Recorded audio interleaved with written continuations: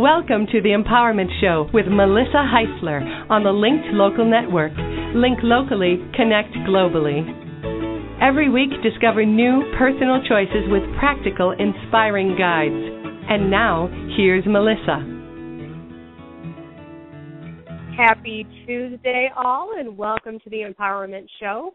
I'm Melissa Heisler, Empowerment Coach at It's My Life, and it is your life. Live it. Today, we're going to have an awesome discussion about midlife career crisis renewal with Rikk Hansen. If you'd like to join the discussion, go to facebook.com slash the empowerment show and type in your questions. So let me tell you a little bit about Rikk. Rikk Hansen is one of the nation's leading experts in guiding mid-career renewal and has spent 27 years in the career and leadership development field guiding thousands of midlife professionals and entrepreneurs to rediscover purpose and passion for their next life chapter. In the early 1990s, he co-founded Centerpoint Institute for Life and Career Renewal, an innovative nonprofit that received national media attention and recognition from career development leaders, including Richard Bolles, author of What Color Is Your Parachute in the Career Counselor's Handbook. Rikk is currently um, he's currently the founder of Brilliant Next, and he has pioneered a trademark system called New Fire Discovery that has helped numerous mid-career women and men find new certainty of purpose and direction for their next next life work path. So, welcome to the show, Rikk. Thank you, Melissa. I'm thrilled to be here with you. I am so excited to have you here today and to um, I think the topic that we're going to talk about is so important for so many people right now who have either been thrown into midlife career crisis due to the economy or I also know that there's so many individuals who are just at that point of waking up and saying something's not right with with what I've been doing. Yes, I find that we get there either one of two ways. As you say, sometimes the universe gives us a nudge and, you know, pushes us out of an old comfort zone. And, you know, we find in the process that we don't want that back. You know, we actually want something different um, to replace it with. Or, you know, we're doing something, often something that we're proud of and that we've built over time, but it, it the feeling changes. You know, it really has lost its spark and there's there's this internal sense that there's something more uh, that's next. That's really more fully that could more fully express our, our gifts and our purpose next. And do you find people who who get in that situation of feeling that there there's that something that's next? Um, I think I run across a lot of people that are kind of stuck in that. It's like, well, I know that I'm not satisfied here. I know maybe there's something else, but I have current job but yeah. you know this is the only thing I can do. Um, is that probably is that the biggest hurdle that people have to get over with this process, or one of the major ones? It's one of the main ways that we get stuck, and this you know this is true for all of us, and not only in career, uh, but any big area of identity. You know, there's often a time when we're in the process of completion or outgrowing something, and it's in some of the early stages of that, it can be pretty stressful because it's almost like an internal conflict where part of us is already feeling the call or the nudge that you know there's something more. Uh, but another part is like don't you dare rock the boat. You know there's a lot riding on this. I've worked hard to get here. So it it can be um uh it can definitely be stressful. And you're no um stranger to this process as well maybe you can tell us a little bit about what sparked your career of you know guiding others in their mid-career renewal. Thanks, thanks, Melissa. Yeah, you know, sometimes we wish that you know it's like a dentist still needs to get their teeth worked on sometimes, and uh, you know, being in this field of working with people going through transition, I have definitely not been immune to that, and you know, and and that's okay. Even though it's really uncomfortable when we're there, Um, you and I were talking earlier about about growth, and you know, if we're growth-oriented people, we're going to outgrow some things, even things that we care about, and that has definitely happened to me. Uh, I got into this field at a relatively young age. I was in my mid 20s, uh, so you know, half a lifetime ago. Uh, and at that time, they didn't even call it coaching. Uh, one of my first mentors was one of the first people in the industry to start talking about about it as a coaching model. Um, but it was a fabulous fit for me. Um, you know, it's not something I grew up going, oh, I think I'm going to be a career coach. Um, but early in the 90s, when I was pretty young in the career, I was maybe in there about four years. I um, moved up to the Seattle area and ended up partnering with a really talented coach and leader, Carol Vecchio, and we created Centerpoint Institute uh, that's still there and doing really fabulous work up in Seattle. So if any of our listeners are there, it's a great local resource. Um, and there was a point when I left that, and even though I loved it and I cared about it and had built it to become the you know really the primary place people would go in Seattle for that kind of change. Um, but it was a change of chapters. And then you and I have talked about a change I went through a few years back that was my last time what I called between dreams. And I had been working in the corporate arena in career and leadership development in a in a really interesting niche working with American Indian tribes. And the last couple of years I was flying around the country in a consulting role, uh, helping tribes get their programs started, formal mentoring programs, uh, you know, really mentoring young leaders and uh, creating those structures in the organizations. And it was, I cared about it, and there was some really great people involved.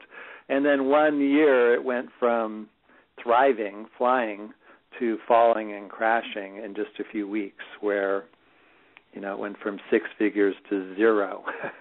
um, and that was unexpected because everyone had said, "Oh yeah, that's you know that industry is recession proof." Which I think we've all learned. I don't know of any industry that is recession proof at this point. Yeah, I'm guessing a lot of our listeners maybe have been through these kind of unexpected changes. Um, and there was there was some guidance that I received in my spiritual practice, just kind of a, a whisper from spirit early on in that process when I kind of felt like I was in free fall and scrambling. And that the words that came were this time is important. You're being prepared for your next period of service. Mm-hmm. And you know, I just was struck deeply with that and I held on to it tightly for many months because it was you know, was financially stressful and there was a lot of uncertainty. And I was working really hard trying to revive that practice and you know in a immediate job search as we were kind of going through some of our financial resources and nothing was happening. Um and it was in that process that you know I I found at one point in there that that this was not about a, a challenging job search. And it wasn't even about the economy though all those things were true. Um but it became clear that it was about a renewal of purpose. Uh, you know that I was working really hard to try to recreate an old comfort zone for me, mm. uh, and I knew when I got clear that really life was nudging me to do something that had that much more of me, um, and it was my next step to you know in following my calling, and I came to a place that I call New Fire and that's really you know standing again in certainty of purpose uh, in that place in ourselves where we are literally not literally luckily not literally but internally you know we are just filled with that certainty and that purpose and energy about something we care about. And we know that you know even if we don't know what it's going to look like and we usually don't but we know that no matter what whatever's next has to you know, embody or express this thing because that's what we're here to do. And I, I think and that really led to Brilliant Next. And that led to Brilliant Next, which um, we will talk about that as well, which is uh, yeah. your current company and and um, and focus. But I think you brought up a couple really interesting points. Is that uh, a lot of times, again, you know, we we reevaluate our careers for two reasons. You know, one of them is that we get thrown out of our recession-proof business. Yeah. And the other thing, and I, I really like this, was um, that we outgrow it. And I think that's uh, really important to um, identify. I, I see a lot of people with this right now, is that they outgrow it, and just like you, they tried to hold on to what their comfort zone was. If I just mm-hmm. try to do it differently, or what did I do wrong? I used to love this, or you know, and they're mm-hmm. trying to hold on to something that's no longer there. Um, and there is that reawakening period of, you know what, this is this is over, uh, and there's there's something new formulating, and um, I, I think that's a kind of encapsulated in what you touched on before, what you call the between dreams time. And I love the image that you have of that um, that dark hallway between that one door closing and that one door opening. And I, I think for some people, you know, no, number one, it's a scary place to be, but number two is yeah. the people who choose to close that first door before they see that nor- new door opening. It's a very difficult time to be in. Yes. And I think you described it well too, where you know, just that place of feeling a little paralyzed. Um, that one way we really get stuck is we're kind of in our head and we're waiting for an answer because you know we get to a point where we're pretty clear what we don't want, even if we're still there. Um, and people say things like, "Well, I don't want to be here looking ahead a couple years." Um, so most of the people I work with are actually still employed, but they're in that point where they can they just know it's not enough anymore. And like you say, they feel the tug of that next thing, but it's not clear what it is, and they're waiting for it to get clear. And that's often where we get stuck. So even just knowing that there is a period called between dreams, um, that it's a natural and important part of the process. That, and because often we think, well, if I knew what the next thing was, well, I, you know, I just I t- make the leap. I'd make the change. Um, but there's a point. The between dreams point is when we know what we don't want, and we can feel the new thing, but it's not clear. And that is maddening. just you know, not to know. it's very maddening, maddening. And what's really interesting is I was talking to um, actually a business consultant the other day, and I love mm-hmm. this analogy of uh, working with a startup company. And you know when do you say you know when do you leave that company? When when do you know that a startup company isn't going to work or where are you going to move to that next thing? Yeah. And he said it was very much like dating. You can't mm. get a new girlfriend while you're still with your current one and I, I think we see this a lot with people with their jobs as well, is that they still continue to try to make the current girlfriend, the current work the current job work for them and be passionate for them and it yeah. almost keeps them stuck from seeing what that new thing is right or another thing that i see is is making a leap but kind of doing it prematurely um mm-hmm. Where there really is not a new vision yet and there's not new passion but i had one client who had you know she had gone out and started a business uh, because she was really clear that she was done being, you know, in. Um, she was a CPA at the time, um, and that business didn't work. uh, and she told me, she said, I realized later that you know I wish I had taken more time to get mm. clear. She goes because there was it was an idea that I liked, but it, looking back, it was really more a way out of the old thing rather than really something that felt like a calling. Um, and so it just didn't have the foundation of vision and energy to be the next thing. It was kind of like in the dating analogy, which I love. uh, it's kind of like when you make a relationship switch and very quickly kind of find out that it's like the same re- relationship in a new phase uh, because we we we are the same us. You know, we're making choices from the same place.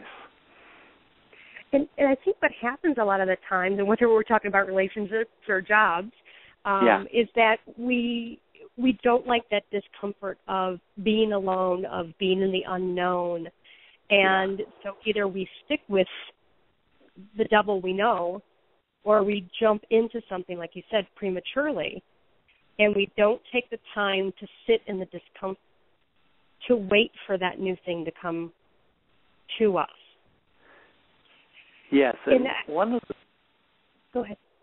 Sorry, one of the things that's helpful when people get that there is this period between an ending and a new beginning, um, you know, this between dreams place, and that it's important because it's really the gestation of the new thing. Is it's freeing because they realize, oh, I was waiting for clarity, but really, this time period is a period for discovering clarity, and that it is kind of an inside job. I mean, really that that it's not a passive process of waiting. That there are things we can do that if we know that that's the job now is to pay attention. It's like, well, what do I love now? and what's still alive about some of these old things I've done, but what what do I need different? And you know, there's really a listening process, an active listening process about discovering in ourselves, you know, what what is what is what is alive now? What is the thing that whatever's next it has to be?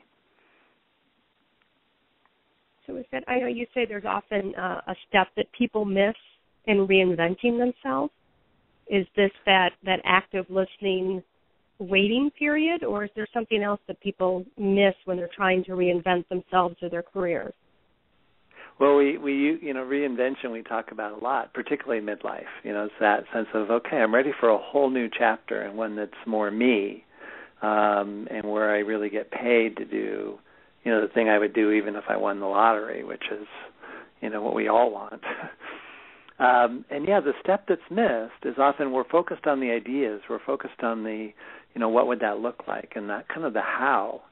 And so, so what I found is that rediscovery precedes reinvention. Um, mm. That if we jump to reinvention, we're looking at well, what's out there, and rediscovery really begins.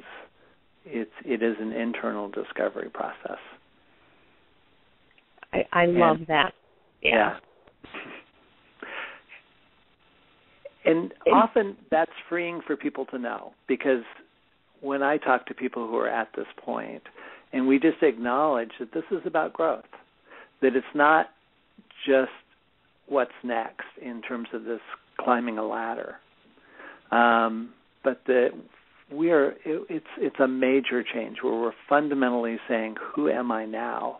and that often it's a time where there's a big process of spiritual and personal growth where we're really redefining who we are in a way that's that's um, that's more fully us. And as part of that, often we're coming up against old messages and fears that have partly, almost invisibly, defined what success was in the past, and that's part of what we've outgrown. So the reason we can't see the new thing is actually we're in a process of change to even be able to dream a dream that's more true, and then to go out and do it. I, I there's so much in that, Rikk. It's it's such an easy concept or simple concept, yeah. but it's also so deep. You know, as far as empowerment, um, I know when I talk to job seekers as well, they all seem to be looking for something off the rack it's like, okay, yeah. well, I, I need a new job, and let me see if I can fit myself into this. And right. I think it's so important to do, as you say, to do that rediscovery process for yourself, to make this a time not just about the job, but about your personal growth and, and especially about your definition of success. Because I think as we grow and experience new things and age, that definition of success changes. And if we're still holding on to an old definition, that job that we jump into is, is not going to be fulfilling for us. Exactly, nicely said. Um, and you know, you mentioned how people are often looking around, like what's out there, what's off the rack. That's a nice phrase. Uh, or sometimes they have an idea that they like, but they, you know, even though it's an idea, they it feels like they're not ready to start or they just you know it's it's they're they're almost they're not ready for it um, so one of the main ways we get stuck in that between dreams part is going to the how too quickly Um, mm. Because in any creative process, if you bring in the how too soon, you kill it. Um, and you know, I see this where people like start doing some discovery and they like see something that is important and they get energy for it, and then if they go too quickly to well, how you know, no one gets paid to do that, or and then they just kill the whole process uh, before that new thing has even really taken root and gotten stronger in them, and you know them they've gotten really clear about well, what is the heart of that? What's the thing that that I'm not willing to let go of?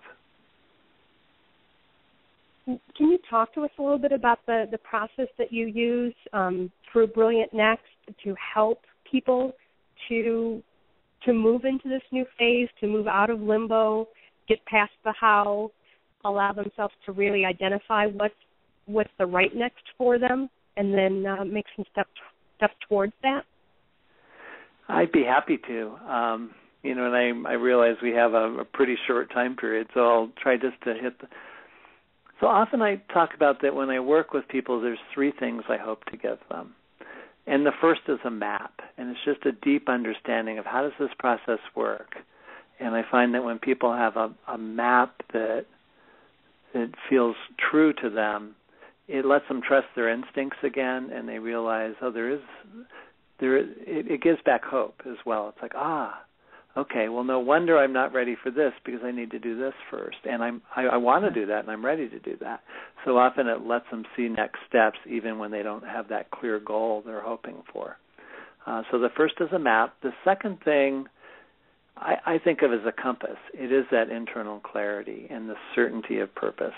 Um, so I do a process I call New Fire Discovery, and it's really just a process of creating support and structure um, for for taking the time and doing that discovery work and getting clear. And in many ways, our culture works against that. The pace of things, uh, we have this message almost that like with career this is a do it yourself project.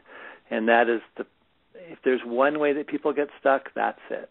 You know they get out what color is your parachute or they just think about it for five minutes here or there and nothing changes. Uh, i've worked with a lot of people. So it's more than assessment. It's not a head process primarily mm. even though there's some good tools out there.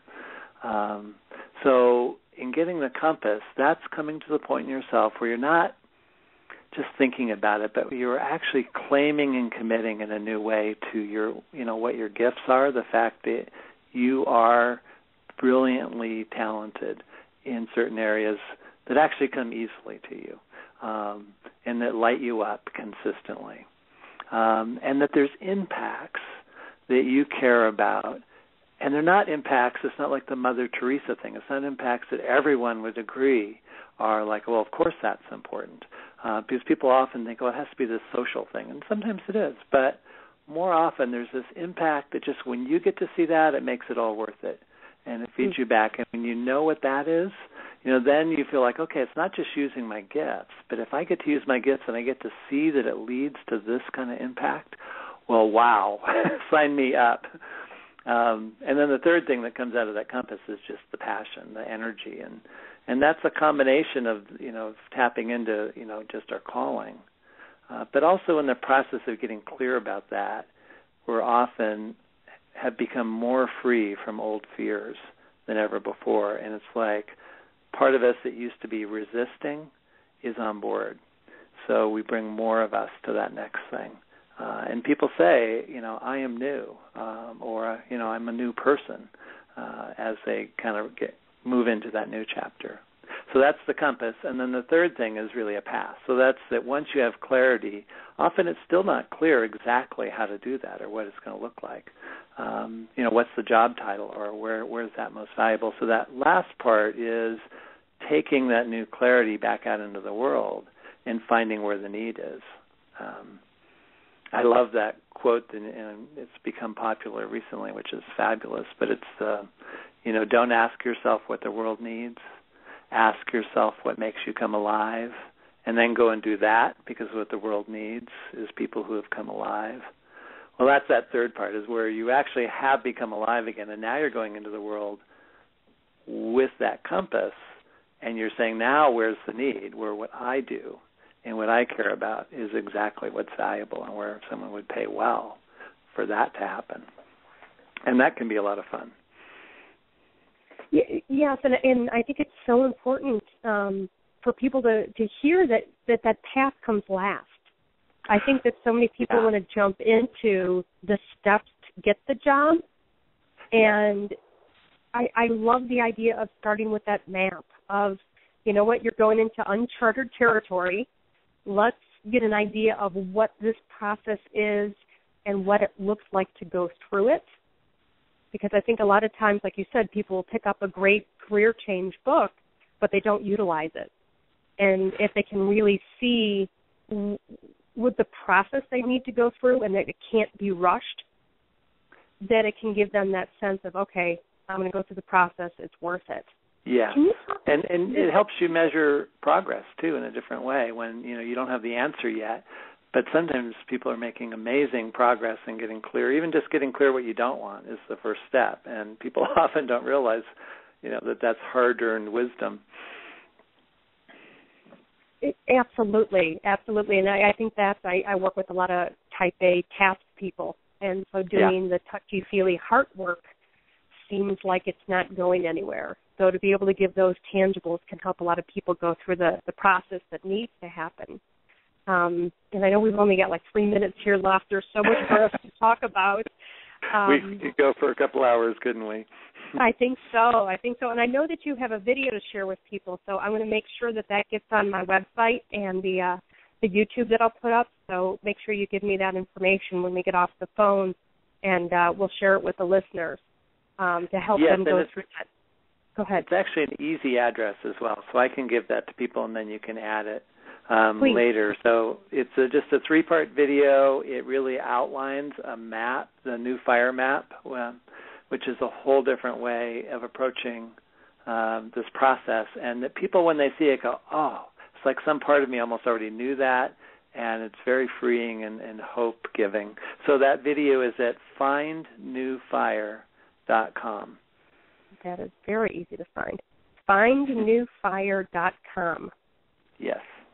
So I will definitely put that out there and, and recommend um, that anybody, I think anybody at any point should probably go through it because, like you said, we're all changing and moving during different parts of our life. Um, One nice thing on the video too is people, as they go through the video, they actually map themselves and not just their work, but other parts of life. Um, on this, it's really a cyclical change map, um, and people consistently tell me it's extremely helpful and it just takes like 40 minutes. Fantastic. Well, I'm going to go do it once we get off the phone here. In our, our last minute, Rikk, um, thank you so much for being on the show. Do you have any parting words you can give our listeners who, who are stuck in that dark hallway between what's unsatisfying to them now or the door that's closed on them and what it is that they're moving into next? Yes, it would just be that you know you came here with something important to give, um, and that nudge that you're feeling. If you're if you're feeling that nudge towards something more, you know, even if other parts of you are going, you know, who are you to think that, or just you know, it's just a job. Um, if that nudge is there, it's important to pay attention to, and uh, life will support you in moving towards that if you take the little steps. Um, so the words that I was given, you know, I like to give back, and that's, you know, this time is important, and you are being prepared for your next period of service, uh, for your um, most passionate next chapter. And those are beautiful words to to end on, Rikk. Thank you so much for being an inspiration and sharing your story. Um, thanks to Rikk Hansen for being on the show from Brilliant Next, and you can check him out at findnewfire.com. Thank you. Thanks for inviting me, Melissa. Great to be here with you. Join Melissa Heisler next week right here at The Empowerment Show on the Linked Local Network. Link locally, connect globally. Learn about the next show and listen to previous shows at linkedlocalnetwork.com slash empowerment. Join the conversation at facebook.com slash the empowerment show or twitter.com slash empowerment show.